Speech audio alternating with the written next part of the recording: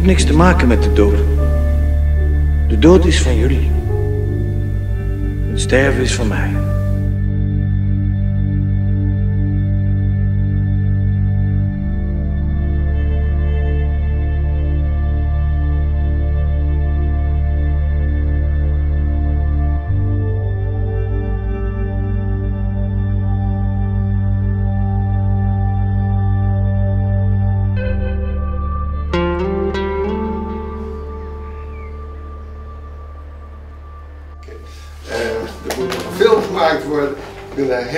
Maar ik ben al heel gelukkig dat we hier met z'n allen zitten.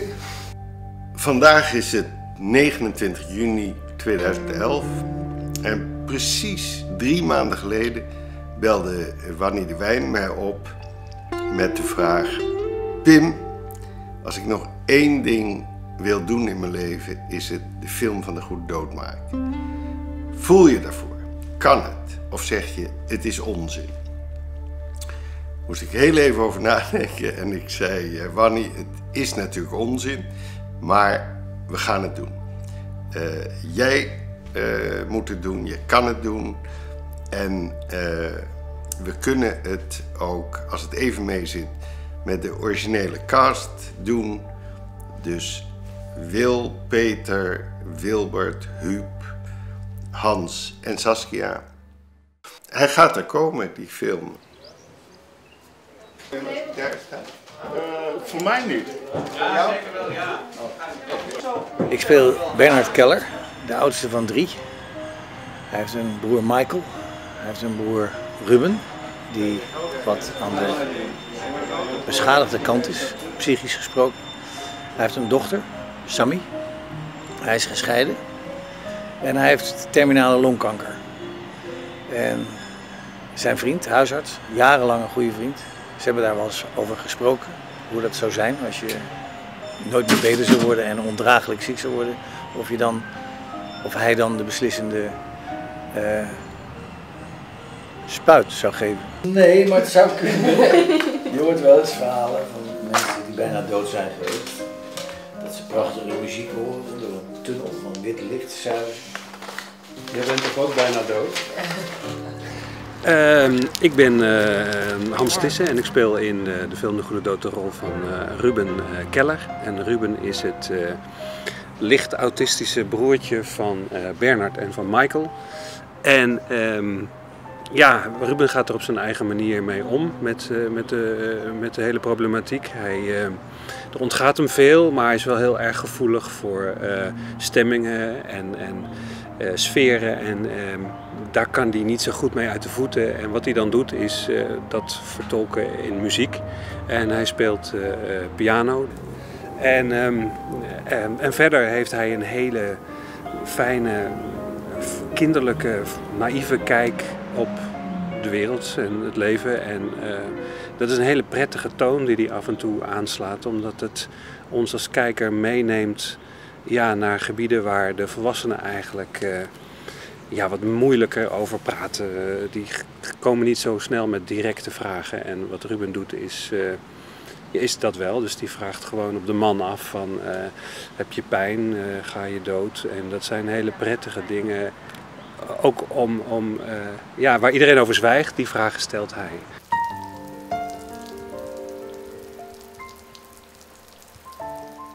Ik, eh, mijn naam is Lex Brandt. Ik ben de director of photography op eh, deze film, De Goede Dood.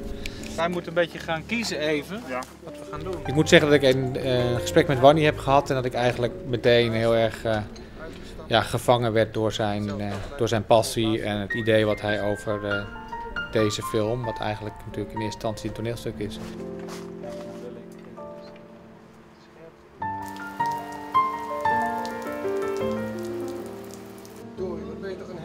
Ik eh, verbeeld eh, de huisarts eh, Robert, huisvriend van de familie.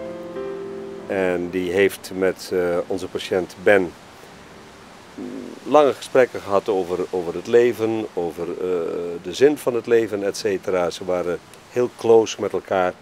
En ooit ook is in dat gesprek te sprake gekomen, wat doe je als je je leven wil beëindigen? Dus euthanasie is te sprake gekomen.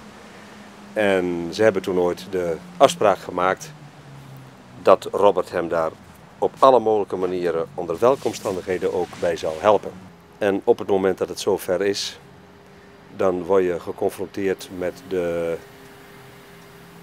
ja, de twijfels die, uh, die Robert zelf ook heeft. De twijfel altijd of je het wel goed hebt gedaan. Hè? Was het toch niet beter geweest? Je moet niet twijfelen. Het is goed en het is klaar. Nou, ik ben er klaar voor. Doe de rest nog. Want hier staat de zon keihard. En, uh, we hebben het huis gezien.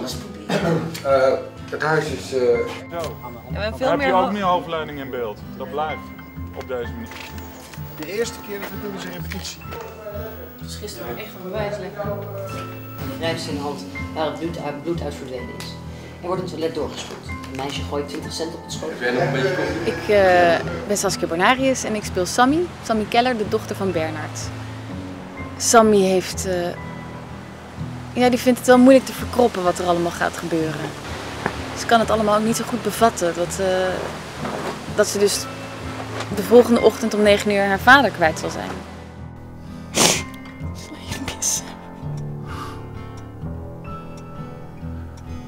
Ik jou ook, mijn kindje. Ik jou ook. Dat bewustzijn en dat besef, dat is iets... Ja, dat is krankzinnig. Ja, dat ligt me heel na aan het hart. Ja. Maar dat komt, dat komt door het stuk. Maar het komt ook door de mensen waarmee we werken. Het is echt zo'n fantastische club. En het is wonderlijk hoe dat als familie kan voelen. En we hebben echt, echt letterlijk lief en leed met elkaar gedeeld. Uh, veel, veel uh, verdrietige momenten, maar daarnaast ook ontzettend gelachen. En dat is echt iets fantastisch, dat je dat uh, heel waar met elkaar kan beleven. Ja.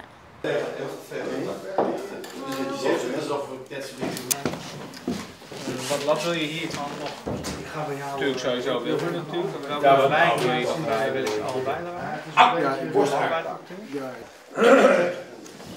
Zaten jullie met z'n allen te, te lunchen en toen zei een figurant, Huub, hey, Huub, Huubie, hoeveel films hebben wij nog samen gedraaid? Ik ben Wanny de Wijn, schrijver en regisseur van de film De Goede Dood. Ja, lecture op wil.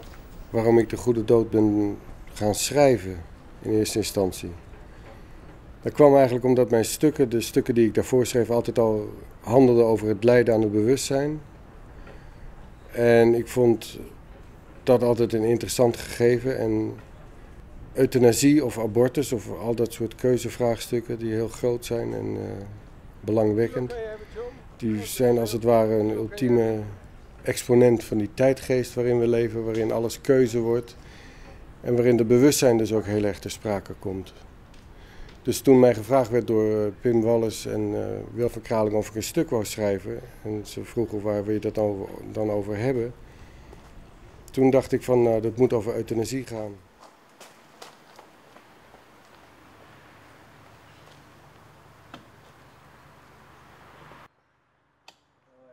Hanna is de vriendin van de man die gaat overlijden, die zelf besluit uit het leven te stappen. Dus eigenlijk doet ze aan mantelzorg, want hij is al maandenlang doodziek, doodziek. En niemand weet dat. De dochter zelfs niet, dat zegt ze ook later van waarom heb je me dat niet verteld. Maar zij heeft ook een relatie gehad met, een, met de broer van de man die gaat overlijden. Dus uh, het is nogal een, een, kop tussen de deur situatie, want die man daar is, die is helemaal ontgroeid. Dus er komen, ondanks het feit dat je zou zeggen iemand gaat sterven de volgende dag, we moeten ons een beetje inhouden, zijn toch de menselijke trekjes uh, die het winnen. Dus er wordt ruzie gemaakt, er wordt gelachen, er wordt gehuild. En uh, Hanna, ja, die doet daar op haar manier aan mee. Op een iets rustiger wijze dan bijvoorbeeld de Michael, de broer.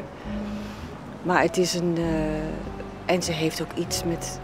Nou, niet echt met, met spirituele zaken, maar het is toch wel iemand die gelooft ook.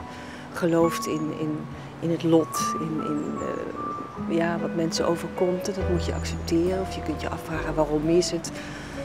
Waarom gebeurt me dit? Maar en uh, ze vindt het heel moeilijk, want zij zou nooit voor euthanasie gekozen hebben. En, en juist haar wordt verweten dat zij, de man die gaat overlijden, Bernard, gestimuleerd heeft dat te doen. Wat helemaal niet waar is, want ze vraagt zich echt af, had het, was het niet beter geweest als hij gewoon palliatieve sedatie had gehad? Was dat niet beter geweest? En uh, ja, dat vind ik wel mooi van die vrouw, dat ze, dat ze het wel accepteert. Maar aan de andere kant liever had gehad dat het allemaal op na nog natuurlijker wijze was gegaan. En ik ben geen Hanna zelf. Nee, nee, nee. Ik, vond het, ik vind het ook een. Uh, of ik heb, ik heb de rol uh, graag gedaan vanwege het onderwerp.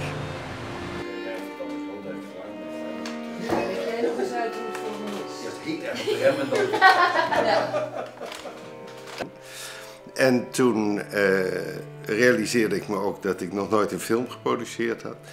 Maar gelukkig was daar Maarten van Hemmen, Electric Zoo, die uh, ook zei: deze film moet er komen. Ik zet alles opzij. Klappen.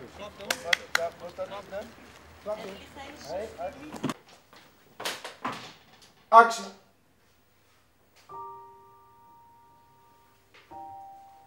Maar als hij erin zit, weet je in ieder geval dat we op film hebben gedaan.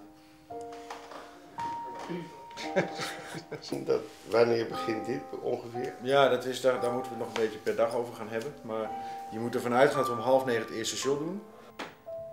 En cut, stop!